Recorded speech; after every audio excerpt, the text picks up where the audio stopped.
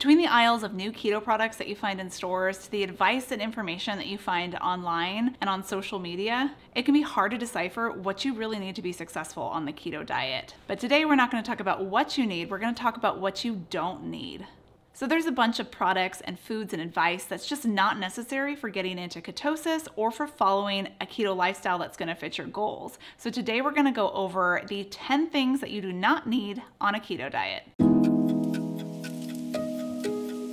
We have great alternatives and recipes for our sugar laden comfort foods like cakes, candies, and ice cream. And these products and recipes can be extremely useful when you're first starting out because you're starting to crave those things. So why not have a sugar-free option? It's always better to have a low carb version than to overindulge on something that's filled with sugar. But just because it's low carb or keto doesn't mean that it's fair game for going crazy and having an entire package of keto chocolate or enjoying dessert every night of the week. Keto dessert should be treated just like a dessert would on any type of diet, which means that you have to consume it in moderation because keto desserts are still high in calories and a lot of fat, which is okay to indulge in that every once in a while to go over your daily caloric limit. But if you're excessively doing it, you're gonna start to gain weight or inflammation, especially if you're not active. On top of that, many companies will put ingredients in their syrups, bars, and chocolates that actually affect your insulin. It actually increases it. So products will have things like maltodextrin or sucralose. There's even some soluble corn fibers that can affect insulin. And there's also concern that some of these sugar alternatives are affecting our microbiome, which might hinder your weight loss or be a reason why you're always inflamed. So if you're experiencing a weight loss stall, inflammation, or any unpleasant GI effects, it might be time to lay off those keto treats. But if you do find that having like a daily dose of keto chocolate can fit into your lifestyle and it doesn't hinder your goals, then have at it. Bulletproof coffee. This was first popularized around 10 years ago. People started putting butter and MCT oils to their coffee. It makes it super frothy like a latte, but also has a bunch of health benefits like increased energy, better cognition, better focus, and it also kept you full for hours. The MCT oil provides immediate energy for your brain to use, and the butter actually helps sustain you for a very long time. Don't get me wrong, I still love bulletproof coffee and I actually have it from time to time, but it's really helpful if you know how to use it the right way. First thing in the morning, and generally you just want to have one cup. The mistake that a lot of people will make is that they will have multiple cups of this butter coffee throughout the day and they'll sometimes even have breakfast on top of that. Well, each cup of bulletproof coffee is around like 300 to 500 calories, and it's a lot of fat. So, yeah, it might keep you full, but if you're also combining other things on top of that bacon, eggs, maybe some berries, avocado that's really pushing you over your calorie limit. And you don't need a special cup of coffee to give you focus and energy. The keto diet's actually gonna do that anyway if you're doing it correctly. And if you're looking for a delicious way to enjoy coffee without all the extras, try these coffee capsules by Cometeer, who is my sponsor for today's video. With this coffee, you can quickly make the perfect cup of hot or iced coffee. There's no bitter flavor, there's no sediment, it's just smooth and balanced coffee. And these aren't your typical capsules. In fact, you don't even need a machine to brew these. The coffee is already brewed and flash frozen to ensure freshness and peak flavor. They arrive frozen and shipped to your door monthly with a customizable option like decaf, light or dark roast, plus they have new roasts every month. Just loosen the frozen capsule under some hot water for a bit, and then we're gonna drop the frozen puck in a mug. Then add six to eight ounces of hot water to melt and stir. It smells so good. I've been enjoying this coffee for a couple months now, and I find that I don't even need creamer or butter because this is a fantastic brew on its own. For a limited time, you can get 25% off your mm. first two orders when you use my code KETO25 at cometeer.com slash keto25. If you've been wanting to try Cometeer, now is the time. Speaking of butter, there was a trend going around a few years ago where you slathered butter on everything. People were putting on everything just to up their fat macro to 70 to 75%. It's not really necessary. You don't need to put butter on everything you eat. By choosing the right cuts of fatty meat and using healthy oils like olive oil and avocado oil in your cooking, you're actually gonna get plenty of fat. On top of that, you don't always want to try and meet your fat macro because one, you might already be be full and you never want to eat beyond if you're full.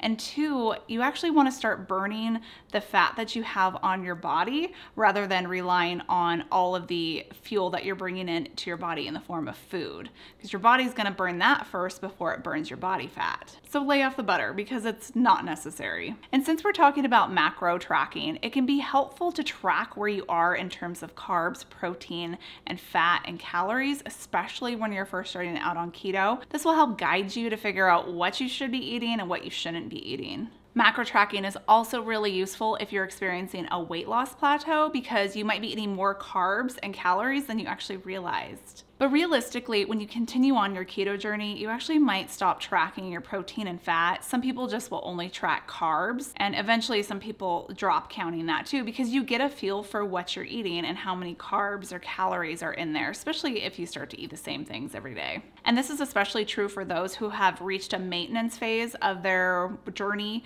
They're more after keto because of how it makes them feel. They feel good. So they don't necessarily always have to be so tight with their carbohydrates or fat fat or protein or calories. And there's still a lot of people who have success with keto that don't track a single thing. They just go by with how they feel or they're eating zero carb or very little carb, so there's no need to track. And I'll explain more on that later. Earlier, I talked about putting MCT oil in your coffee, and MCT stands for medium chain triglycerides. And there's been studies done to allude that MCT oil can actually help you feel full and decrease your need to eat. And the body breaks down these medium chains faster than it does a long chain fatty acid, so it's actually readily used. It's energy that's available and can be used right away, which is why a lot of people feel increased focus and cognition and energy when they take it. There's even evidence that it might be helpful for Alzheimer's disease. All that said, it's something that you don't have to take regularly to be in ketosis or to lead a keto lifestyle. It can be beneficial, and if you want to try it, by all means, you should, but it can upset your stomach and can cause digestive issues, especially if you start too much too soon. And if you find that it helps with you eating less and instant focus, by all means, take it, but again, not necessary. Exogenous ketones are ones that you consume orally. They're not the ones that are made in your body just from eating certain foods. They're ones that are actually made outside of your body and then you consume them. And they're marketed to get you increased energy and help get you in ketosis faster. Many of them claim that they're going to boost the effects of the keto diet, and some of them actually say that they're going to give you all the benefits of keto without having to limit your carbs, which is crazy. I'm instantly cautious of anything that has to be bought through a multi level pyramid sort of deal. It just makes me see that these companies are more for profit and not for actually quality of their product and many of these ketone salts are expensive. There are people who feel noticeable differences when they drink ketone supplements, like get energy, focus, decrease appetite, but then there's others that don't. I personally don't take them because I would rather get my ketones from the food that I eat because that's gonna give me more nutritional benefit rather than just some drink that just has ketones in it. And the bit about how you can drink ketones and still have a burger and fries and be in ketosis, that's just crap because really, yeah, you might register that you're having ketones in your blood because of the drink, but it doesn't mean that you're burning all those carbs. Like they have to go somewhere. Your body is going to store them in the form of fat. So, what's the point? Speaking of testing your ketones, there's a lot of testing devices that you can do from home, from blood ketone monitors to the urine strips. There's even breathalyzers that you can do.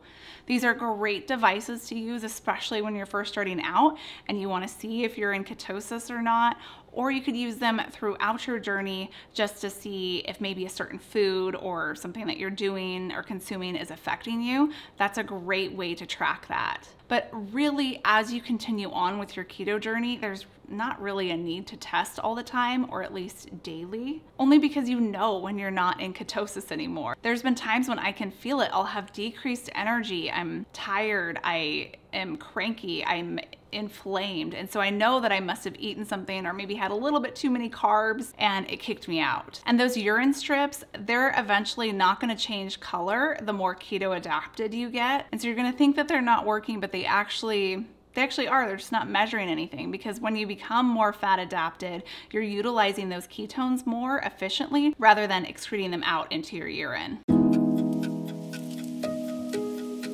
Sure, dairy makes all of our recipes and foods more palatable on the keto diet. But it's not necessary to add gobs and gobs of cheese and heavy cream and cream cheese to our recipes. I mean, I know I'm kind of guilty of it sometimes.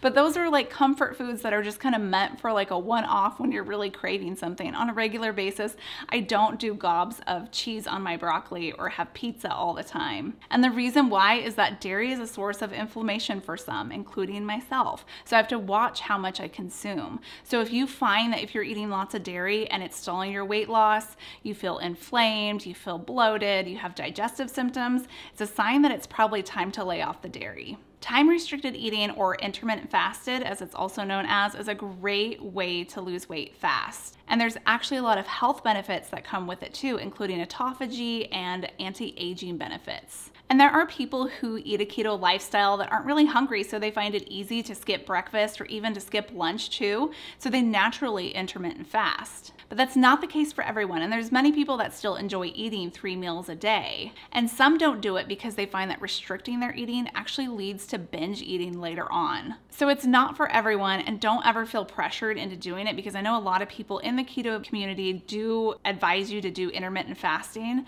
Don't do it if it doesn't work for you. It's perfectly fine fine. There's lots of people that still have success with keto, with weight loss, with health, and everything that do not intermittent fast. Which leads me to my next thing that you absolutely do not need on a keto diet, which is other people's unsolicited advice, judgment, and the keto police. There's a lot of people out there that are gonna think they know better than you even experts, even myself, but they don't. They aren't you. They don't know your body. They don't know what foods affect you and what foods don't. They aren't your doctor. They aren't your mom. They aren't your therapist. They don't know your struggles. If you're asking for advice, it's one thing, but little remarks like you shouldn't eat tomatoes because they're not keto or the microwave is actually going to change your DNA if you use it. That's not helpful and nobody asked. So ultimately, you have to decide what's right for you and what works for you, including some of these things that I mentioned today. So experiment. Remember, it's not a sprint to get into ketosis fast. This is a marathon journey of learning what makes you feel good and what doesn't. And if that means that you don't track your carbs and you eat zero carbs, like I show you how to do in this video here, then by all means, you do you.